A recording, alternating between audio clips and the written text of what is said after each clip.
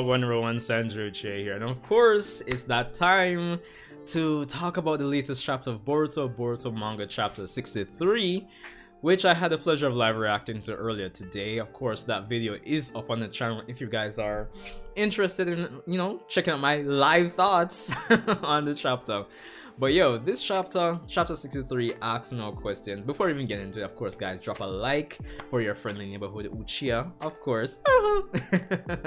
Definitely helps the channel out. But yo, getting into it, my thoughts on this chapter coming out of it. To be honest, it was actually a pretty decent chapter. I would have actually given it a 7.5 out of 10 probably best case scenario probably 8 out of 10 but this chapter it continues and finally dives into the action i feel like a lot of us actually wanted after the more slower character driven you know piecing that the last few chapters had. And of course we dive headfirst in the fight between Code versus Boruto and Kawaki with this chapter mainly featuring Boruto himself going in against, against Code so let's get into it so this chapter we have a few things to talk about of course, the chapter starts off with, you know, the conversation that we have between Boruto and Kawaki. As you would expect with Boruto, you know, asking Kawaki if he, this is his plan to, you know, use himself as bait to actually draw Code out.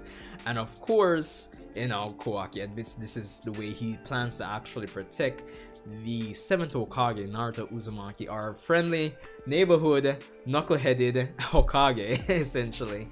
And uh, to be honest the dialogue that we got from most of this chapter when it comes down to Code and Kawaki is you know given the history of their characters is what's to be expected when it comes on to the dialogue that we got in this chapter. Of course we have Kawaki trying to kind of push Boruto to the side so he can actually take charge Kawaki in this chapter as we see it actually wants to implement his plan, use himself as a sacrifice to protect Naruto at all costs, no matter what Naruto thinks of, you know, how he's actually going about it. So, you know, that's to be expected. Even though personally, I was expecting Kawaki had some other grandmaster plan to protect um, Naruto, but it is what it is. I've kind of warmed up to the idea that this is his last only other plan, so his only his only plan rather than his only other plan. So there's that. But what I definitely liked about the early dialogue parts of the chapter is based on the history that Kawaki and Code have and the new pieces of information that Code has given Kawaki from last chapter until now, it's fun to see Kawaki make the deduction that the person that Code wants to actually bring him to, hold on, yeah, feeling a bit stuffy there. but yeah, the person that Code wants to actually bring him to is someone that he more so might have better luck reasoning with or negotiating with because given his history Code as he said in this chapter Code would more likely want to kill him off the bat and the fact that he hasn't done that and the new pieces of information that Code has actually given him Kawaki deduces that yo you know, let me just willingly go because I could probably work something out with the person who who has this Ishiki Otsutsuki obsessed person seemingly on a leash for lack of a better term. So it was fun. It, it, it just comes down to the fact that the history of these characters inform the deduction that Kawaki made in this chapter and I actually like that and it made sense um Aida for me actually made the chapter all that much better so much better because I think Kishimoto is doing a lovely job with her in terms of portraying her personality. Just from the her seeking love, her expressions, her reaction to Kawaki's dialogue, and the fact that it's such a serious moment, it like her reactions like contrasted with what's going on between Boruto, Kawaki, and Code. I just found it like very funny. So I think it's just these little things that are actually building up Aida to be like a fan favorite for me personally, and I thought it just made the chapter so much more enjoyable. It was just. I just found it funny. I'm not gonna lie, her reactions, um, seeing her blush and everything, um, I just found it a treat to actually read and go through. And of course, props to Ikemoto because I don't know, the arts the art was actually I found the art to be good for me personally. And you know, again, just even comparing the art for this chapter to even like the first 10 chapters of Boruto, I think Ikemoto has improved drastically. So um even the way like he drew Aida and how she was portrayed with the blushing and everything, it just it, it was just like oh, Kawaki wants to talk to me. it was it was it was just so funny, honestly. So I definitely definitely like that tidbit. Of course, we have Boruto going in fighting Code, and the choreography of the fight so far is actually pretty decent.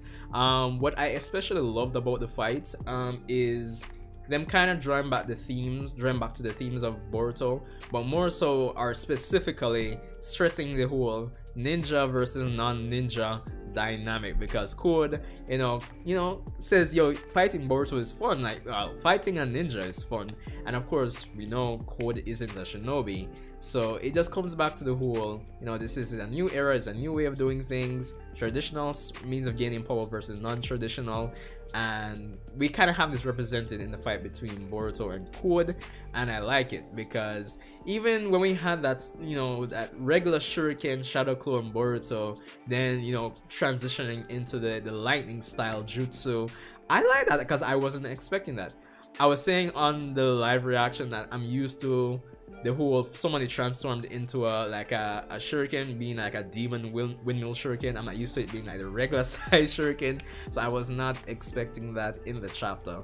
So for the most part the choreography of the fight so far uh, with Boruto activating against level 1 karma versus Code is pretty good. But of course we have Code you know transitioning between his markings you know flying thunder god pseudo pseudo knockoff. So of course Boruto isn't really getting much headway you know actually taking code down so. There's that.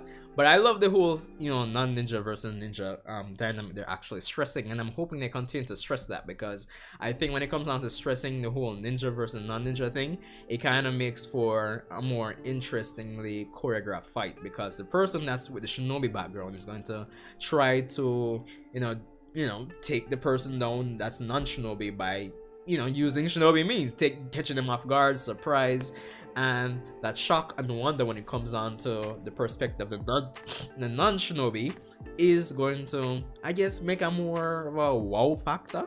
Um, so that's the way I'm looking at it. Now, we find out an additional piece of lore when it comes on to the Karma Seal. We have Kishimoto dropping the fact that, you know, Boruto yeah, he, he gets a power from using karma, but we have Code revealing the true essence of karma as he says. Getting stronger via the karma like from increased like physical stats is one thing, but apparently you get all the years of battle experience um, layered on top of your body and mind as Code puts it in this chapter, which is very interesting because you know, I think for the longest while most of us would say that know, we, we safely deduce that okay, yeah, person uses the karma, they're probably they're more than like tapping into the power of the Otsutsuki the karma belongs to. But the fact that they if you use the karma properly, that's the you know the disclaimer. God, why am I so stuffy? um, yeah, you gain the battle experience, which I find is interesting, and it kind of adds to the whole list of things that are adding to, you know, how Boruto are uh, well yeah, how Boruto is going to surpass Naruto and Sasuke because if he's continually if he starts using it right, which it seems like it's going to be the case by the end of this chapter, you know, continually tapping into that battle experience. Boruto is a prodigy, so he'll continually be improving in terms of his base skills. I would imagine he'll start memorizing how you know these strategies and everything.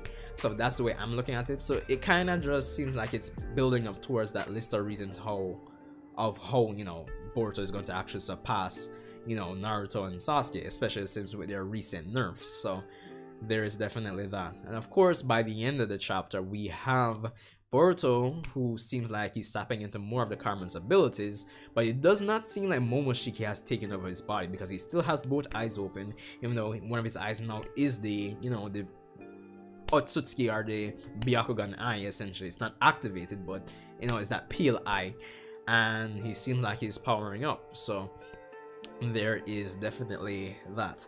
Now, coming from last chapter, I had a problem with how Kishi was handling Boruto leaving the village and Naruto not realizing or how that was handled. I went and kind of browsed back through chapter 62 and looking back at it, it seems like Boruto left the house without Naruto realizing, which is still kind of eh, iffy to me. So I still kind of have a problem with it going even into this chapter. So there's that. And of course, eh, I'm starting to wonder if Boruto is subconsciously sub, um, suppressing his chakra, similar to Kawaki, but the fact that he's in the fight now, once they expand the search here like how Naruto wants Ino to do in this chapter, imagine we'll get um, either somebody showing up by the end of next chapter or three the way through next chapter. Hopefully Sasuke, because he needs a moment. he really does. So, all in all, I thought it was a pretty decent chapter with the choreography and the fight between, you know, Boruto and Code being good. I love that they stressed the whole theme of tradition versus non-tradition, Shinobi versus non-Shinobi.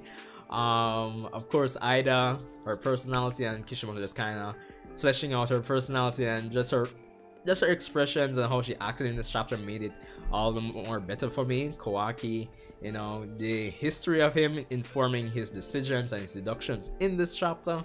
Um, and of course the additional pieces of lore that kind of speaks volumes in terms of how the future of the series is going to go from a from the perspective of Boruto surpassing the previous generation.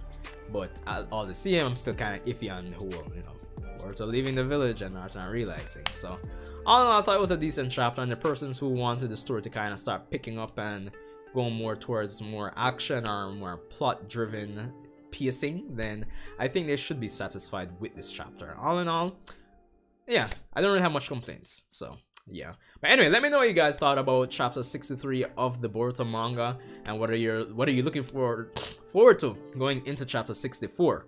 Because it seems the fight is going to continue. So, yeah. But anyway, Sanjae Uchiha, and I'll see you guys in the next Boruto video. Mm -hmm.